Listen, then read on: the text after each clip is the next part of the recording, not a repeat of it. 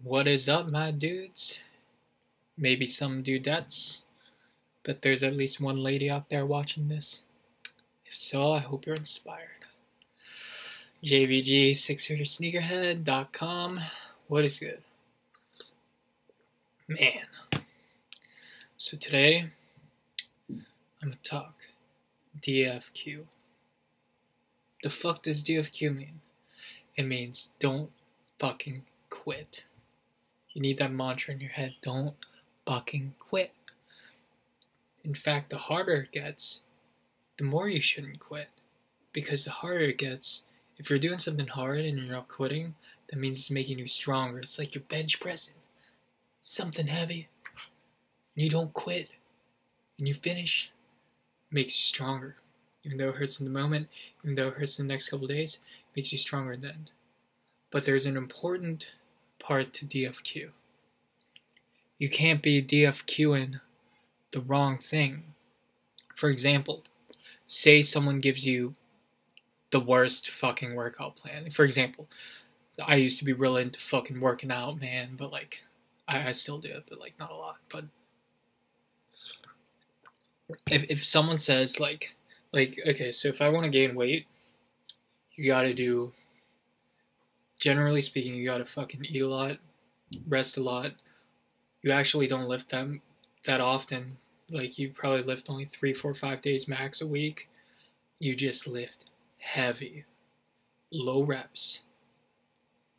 Um, like, like bench, squat, deadlift, overhead press, barbell rows. Um, heavy. Well, I'm getting into workout advice. This is so off topic. But anyways, if someone like gives you the correct plan to gain weight and they say don't fucking quit and you don't fucking quit, guess what? You're gonna gain weight, man. But if someone says like the opposite, which is like say they say like do 50 push-ups a day, run 10 miles a day, and then only eat like eat real lean, that's going to be hard. But if you don't quit at that, you're going to end up skinnier than me. Like,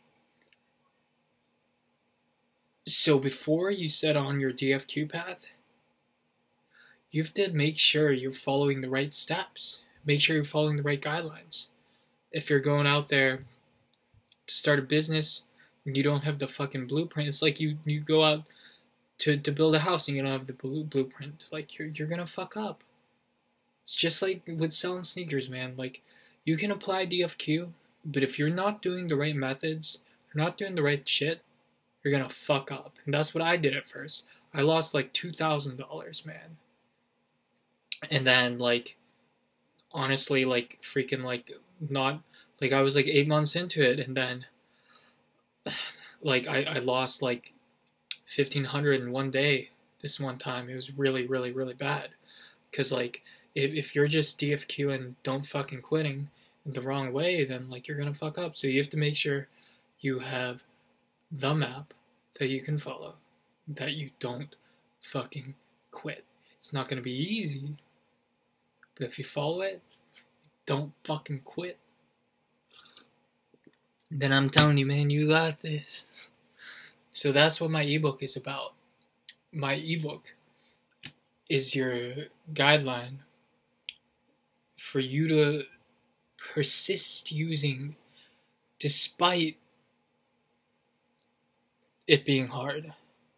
My ebooks is it's not like a silver bullet. It's something, it's a guideline. You have to study it. It's like school. It's like a it's a fucking over a hundred page book, man. But yeah, it's the proper I mean I do my best. I'm gonna I'll probably release a, a, updated version, free of course to any of you guys who, uh, those couple of you guys that bought it, thank you.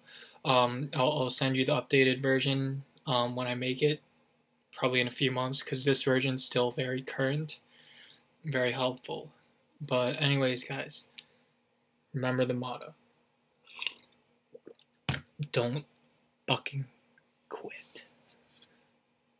Deuces.